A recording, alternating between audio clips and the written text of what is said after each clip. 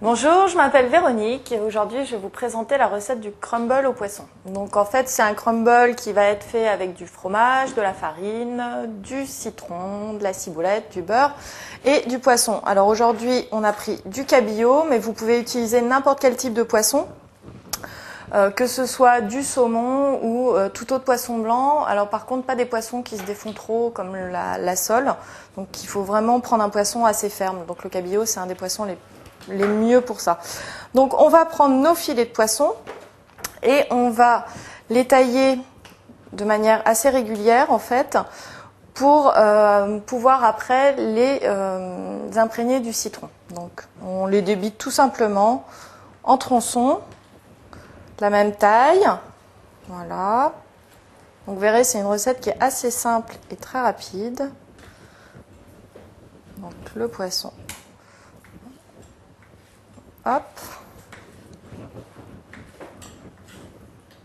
Voilà.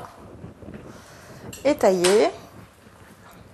Donc on a besoin de ciboulettes. Donc vous prenez à peu près une demi-botte de ciboulette que vous ciselez. Donc assez grossièrement en fait.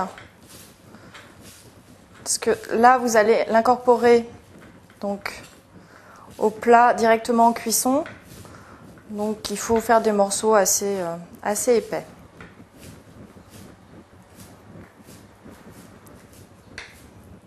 Voilà, comme ceci. Et vous prenez aussi un citron. Alors en fonction des goûts, si vous aimez beaucoup le citron ou pas trop, vous utilisez un demi-citron ou un citron entier. Alors vous prenez un plat à four. Alors ça peut être un plat à gratin. Là pour 4 personnes, je vais utiliser un moule à cake en fait et vous répartissez le poisson dans le fond du plat sur une première épaisseur assez régulière pour bien remplir le plat. Vous le couvrez de ciboulettes comme ceci. Donc voilà, ça donne à peu près ça. Et après, on va enlever le pépin. Voilà. Et après, donc, vous pressez votre citron, vous recouvrez le poisson de citron. Donc ça permet en fait déjà de parfumer le poisson et en plus d'accélérer la cuisson. Donc ça va être une recette qui est vraiment très très facile à préparer et très simple. Que vous pouvez servir soit en entrée, soit en plat, comme vous voulez. Donc vous remettez une couche de poisson, comme ceci. Voilà. Donc il vous faut à peu près 800 grammes de poisson. Euh, en plat principal, il vous faut à peu près 800 grammes de poisson euh, pour 4 personnes. Donc là, pareil, vous recouvrez de ciboulette. Hop. Voilà. Donc deuxième étage. On recitronne. Alors moi, j'aime bien citronner, donc on va presser le jus du citron en entier pratiquement. Ah, j'ai encore un pépin.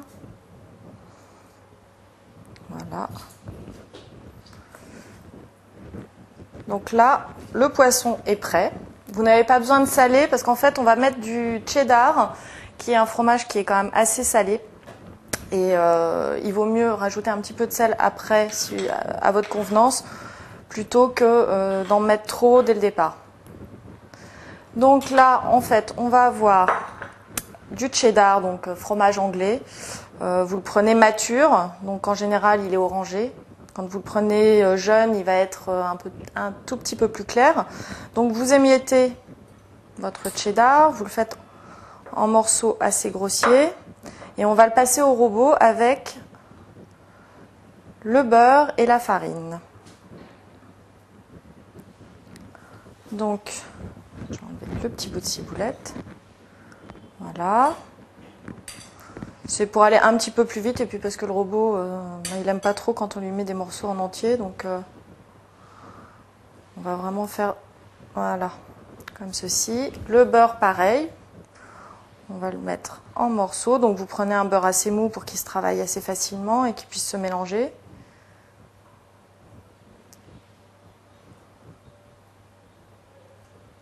Hop. Et on va tout mettre après directement dans le robot. Avec une lame. Donc en fait, euh, vous prenez pas le, le, comment dire vous n'utilisez pas ce qui sert à faire des pâtes parce que sinon vous allez avoir vous allez obtenir une pâte trop compacte donc ça va pas être terrible terrible donc là on va mettre directement le beurre et le cheddar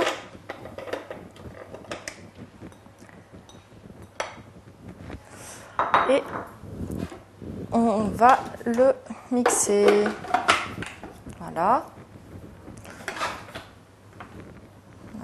main un petit peu grasse à cause du beurre. Donc, hop. Alors, votre four, vous l'avez préchauffé. Ah. J'ai un petit souci de robot.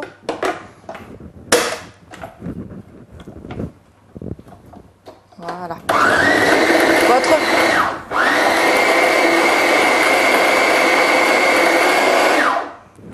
On va rajouter un petit peu de farine. Alors le four, il faut le préchauffer à 200 degrés.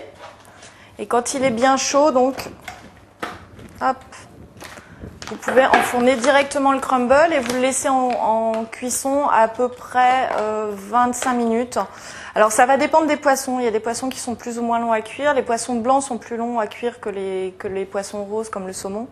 Donc par exemple avec le saumon, vous le laisserez qu'un quart d'heure en cuisson à 200 degrés au milieu du four. Voilà. Alors là, vous avez une pâte déjà un peu grumeleuse, comme c'est le même principe que pour les crumbles sucrés. Et vous rajoutez de la farine, vous rajoutez à peu près 100 g de farine pour la préparation. On va faire comme ceci, on va repasser un petit peu au robot et après on va le travailler à la main. Donc là, voilà. Hop. Donc on repasse un coup de robot.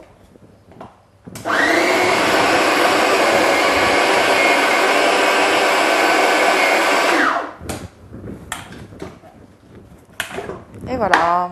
Et donc là, vous avez vraiment la même base, donc les mêmes grumeaux que quand vous préparez un crumble sucré. Voilà. Et là, on va couvrir directement le plat.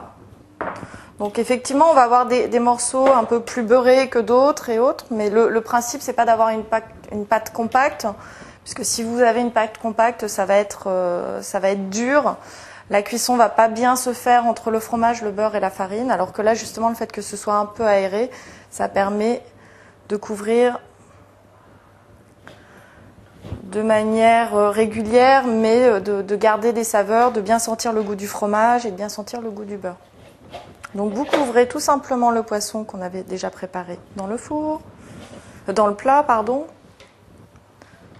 Voilà, comme ceci.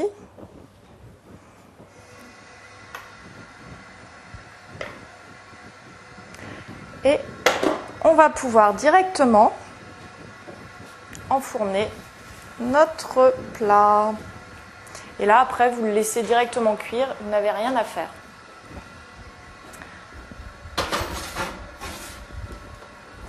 Donc là, on va attendre à peu près 25 minutes pour la, pour la cuisson du crumble. Alors c'est un plat que vous pouvez accompagner soit d'une salade composée, une salade d'herbe, une salade type mesclin, ou John Pousse, soit avec un lit d'épinards, enfin des, petites feuilles d'épinards euh, juste poêlées comme ça, ou des légumes verts en général, ça passe très très bien. Voilà, donc à tout à l'heure. Alors notre crumble a cuit au four pendant à peu près 25 minutes à 200 degrés, donc on va pouvoir le sortir et vous allez pouvoir directement le passer à table. Voilà.